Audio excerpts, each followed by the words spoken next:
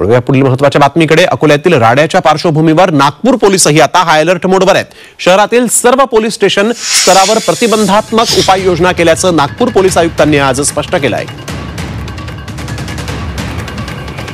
शहरात सध्याची स्थितीत कोणताही तणावपूर्ण वातावरण नाही आहे. आमचे लोक पूर्णपणे अलर्ट स्टेजवर आहे.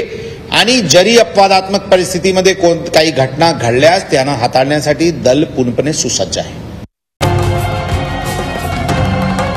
छत्रपतींचा विचार. म्हणजे?